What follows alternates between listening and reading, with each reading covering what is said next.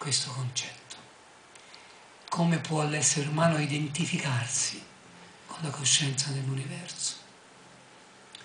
Abbracciando queste realtà, queste consapevolezze, queste, questi principi.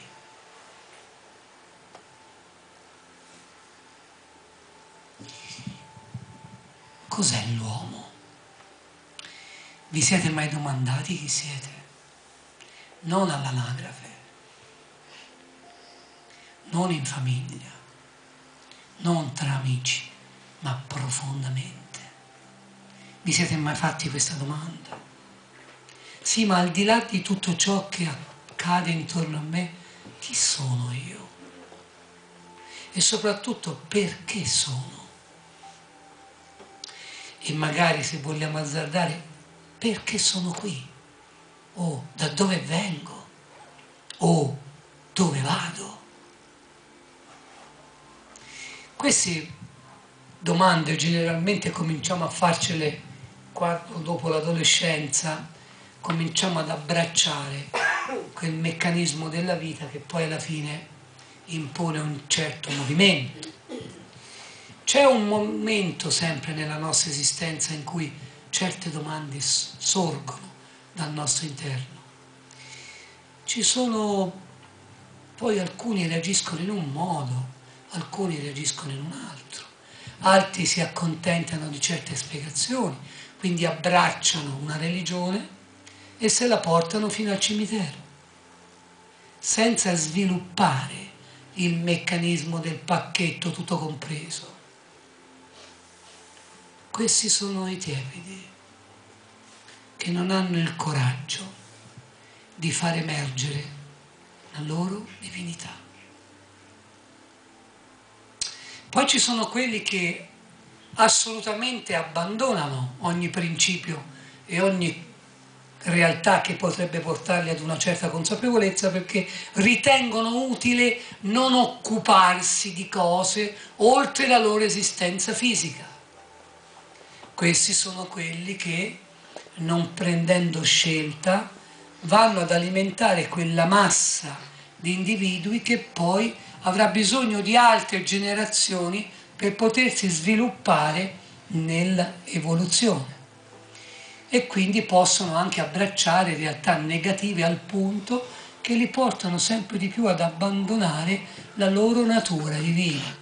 Quindi usando un termine religioso, giorno dopo giorno demonizzano sempre di più la loro natura di luce, fino ad arrivare anche all'annullamento momentaneo di questa eh, manifestazione di Dio. Poi ci sono invece quegli esseri che abbracciano una qualche religione, un qualche pensiero filosofico, o leggono un libro, o vedono un film, o ascoltano una parola e cominciano a costruire, a sviluppare, a far lavorare questo talento, a renderlo sempre più fruttuoso, farlo fruttificare dentro di sé, perché prima il seme cresce dentro la terra e poi si sviluppa verso la creazione inondando la creazione di quella grazia e di quell'energia che il seme ha prima mantenuto dentro di sé. Quindi ecco perché ci è stato detto ama il prossimo tuo come te stesso. Perdona gli altri, ma prima impara a perdonare te stesso. Tutti questi eventi accadono dentro di noi. Quando siamo capaci e abbiamo fatto questo corso evolutivo dentro di noi, possiamo finalmente esprimerci all'esterno perché all'esterno noi troviamo la vera materia di vita che attraverso le relazioni umane fornisce a noi quel meccanismo che possiamo identificare nella nostra evoluzione. Quindi gli altri sono, divengono la nostra scuola. Ecco la necessità di incontrare, la necessità di condividere, la necessità di amare, la necessità di odiare. Perché solo attraverso gli altri noi possiamo esprimerci in questi meccanismi. Da soli non possiamo arrivare a tanto. Sono sempre gli altri il nostro confronto.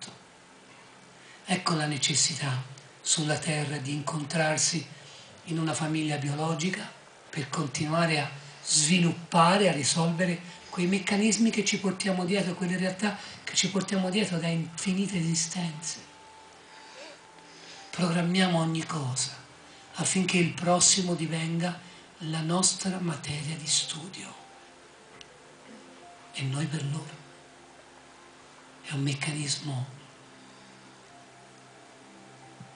che unisce, che condivide, che risolve l'incontro con gli altri. Mm? Ecco la necessità di sviluppare attraverso le relazioni umane questa scuola, di vivere questa scuola che chiamiamo vita. Ecco la spiegazione del perché ci incontriamo, del perché abbiamo deciso in quel giorno, a quell'ora, di incontrare una nuova realtà che cambierà forse per sempre la nostra vita o la farà rimanere così tale e quale, ma la proverà per qualche anno, per qualche giorno, oppure in, in, innesterà nel nostro meccanismo di vita qualche energia nuova affinché noi possiamo accogliere nuove, vivere nuove realtà, nuove prospettive.